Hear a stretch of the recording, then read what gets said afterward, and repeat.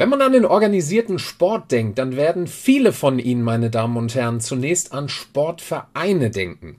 Aber nicht nur dort wird organisiert Sport getrieben, sondern auch in Unternehmen und Betrieben. Alleine in der Gastgeberstadt des Sports Medicine and Health Summits in Hamburg organisieren sich 500 Betriebssportgemeinschaften aus Unternehmen, Behörden und Institutionen im Betriebssportverband Hamburg, kurz BSV. Und der Präsident des BSV ist mir jetzt zugeschaltet. Moin Moin in die Hansestadt, Bernd Meyer. Hallo, Herr Schmidt. Guten Tag. Herr Mayer, gehen wir gleich in Medias Res. Wie sehr und wie nachhaltig ist der Hamburger Betriebssport durch die Corona-Krise betroffen? Dramatisch. Wir haben eine sogenannte Bestandsmeldung zum 31.12.2020 bekommen. Danach haben wir 7000 Mitglieder verloren. Und wir haben 35 Betriebssportgemeinschaften verloren. Wobei die Gründe natürlich unterschiedlich sind. Wenn wir ganze Betriebssportgemeinschaften verloren haben, dann liegt es einfach daran, dass es sich um kleine und mittelständische Unternehmen handelt, die einfach schlicht äh, nur am Wettkampfsport äh, bei uns organisiert waren. Und äh, das ganze Jahr hat ähm, vor einem Jahr kein Wettkampfsport stattgefunden. Und diese Unternehmen haben auch selber regelmäßig gar keine Ankünfte gehabt. Also dass die durchaus geringen Beiträge äh, schwer aufzubringen waren. Das ist die eine Seite. Die andere Seite ist, große Anzahlen an Mitgliederreduzierung haben wir auch dadurch erreicht, dass viele große Unternehmen ihre Mitarbeiter, insbesondere hier in Hamburg, äh, verpflichtend ins Homeoffice geschickt haben. Und damit die Mitarbeiterinnen und Mitarbeiter natürlich in ihrem Unternehmen, in denen vielfach dann auch der Betriebssport organisiert wird und gerade in den großen Unternehmen auch Betriebssport direkt im Unternehmen durchgeführt wird, mit eigenen Sportstätten, dieses im Grunde natürlich alles mehr oder weniger weggefallen ist. Ja, und die Solidarität und die Geduld äh, ist dann irgendwann aufgebraucht. Das ist wirklich dramatisch. Jetzt ist es ja so, der Betriebssport bietet vielen äh, MitarbeiterInnen die Möglichkeit, sich im Rahmen ihrer Arbeit zu bewegen und leistet ja ganz klar somit einen, Be äh, Beitrag zur Gesundheitsförderung.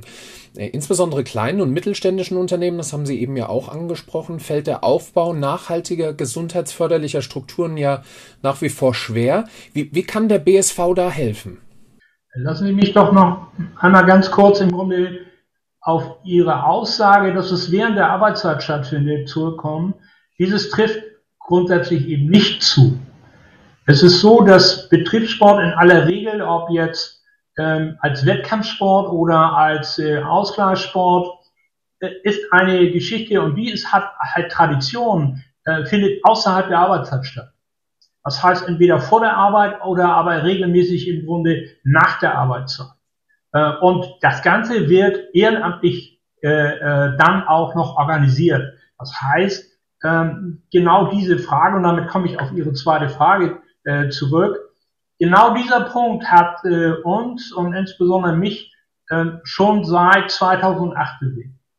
weil ich aus einem Großbetrieb komme und dort erfahren habe, auch in einer entsprechenden Funktion, wie man diese Dinge auch ehrenamtlich organisieren kann. Und der Hamburger Betriebssportverband hat 2011 äh, mit der Unterstützung äh, von Professor Michael Braumann, der im Übrigen Grund dafür ist, dass ich hier aktiv mitmache.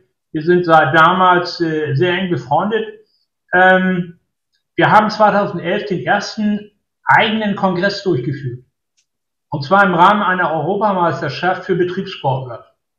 Und dieser Kongress war dann so gut, auch inhaltlich, dass wir vom Hamburger Senat den Auftrag bekommen haben, uns um das Thema Gesundheitsförderung in kleinen und mittelständischen Unternehmen gemeinsam mit der Handelskammer Hamburg zu kümmern. Wir haben dafür ein Team entwickelt, aufgebaut, Mitarbeiter dafür eingestellt und wir sind bis heute damit unterwegs und äh, unterstützen, beraten Unternehmen äh, darin, wie man genau diese ehrenamtlichen Strukturen schaffen kann, weil in der Regel äh, genau dafür kein Geld da ist. Jetzt kommen wir ganz kurz mal auf den Sports Medicine and Health Summit. Ähm, der bietet in vielen Sessions äh, Vorträge und Diskussionen zum Thema betriebliche äh, Gesundheitsförderung aus dieser ganz interdisziplinären Sicht von MedizinerInnen, BewegungswissenschaftlerInnen und PraktikerInnen. Wie können aus Ihrer Sicht Unternehmen und betriebliche GesundheitsmanagerInnen vom Summit profitieren? Indem sie sich für den ganzen Tag am Freitag äh, anmelden und für diesen Freitag auch bereit sind, im Grunde dafür die Teilnehmergebühr zu bezahlen. Denn das ist genau der Grund, ähm, wir, das heißt, ich mit dem Team von Referenten, mit denen ich schon viele Jahre im Grunde den Bereich, ähm, was muss ich über das Präventionsgesetz wissen? Was muss ich über das Thema Versicherungsschutz wissen? Was muss ich zum Thema Steuern wissen? Aber auch, wie funktioniert eigentlich das Zusammenspiel zwischen betrieblicher Gesundheitsförderung und dem Bereich Betriebssport? Haben wir ein wunderbares Best-Practice-Beispiel aus Hamburg Wasser, einem renommierten Unternehmen, äh, mit einem Abteilungsleiter, der Feuer und Flamme dafür ist. Und diese drei Kollegen, die das halt mit mir zusammen machen, nämlich den Bereich Prävention von der DAK Gesundheit, für den Bereich äh, äh, ähm, BG-Schutz mache ich selber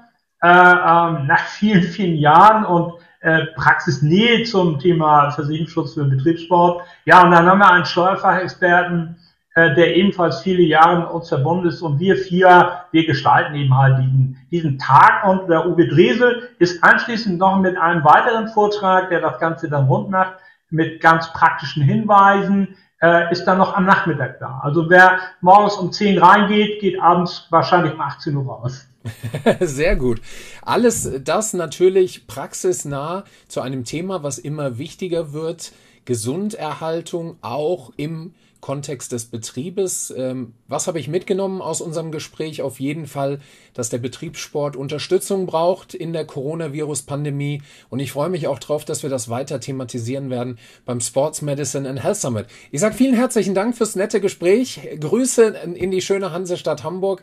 Dankeschön, Bernd Meyer vom Betriebssportverband Hamburg. Herzlichen Dank. Vielen Dank, dass ich die Gelegenheit hatte, Herr Schmidt, mit Ihnen gemeinsam zu sprechen und eben halt, glaube ich, diese wichtigen Informationen auch auf diese Weise im Grunde zu vermitteln äh, über Sie. Also danke nochmal dafür. Sehr gerne.